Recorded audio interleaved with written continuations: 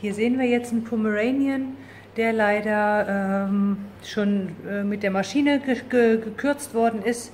Selbstverständlich nicht hier bei uns im Salon, sondern woanders. Und äh, man sieht das auch ganz klar an der Fellstruktur und an der Fellbeschaffenheit ist das ähm, einfach ganz eindeutig zu erkennen.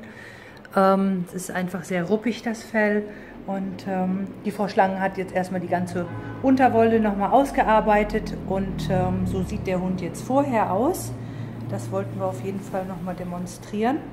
Und ähm, ja, der wird jetzt von uns, bei uns hier fachgerecht von Hand geschnitten.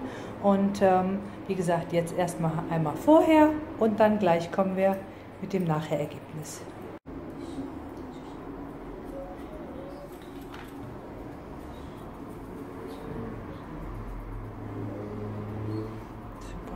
Von innen das Bein auch noch hier gleich noch so ein bisschen. Sehr, sehr schön sieht das aus.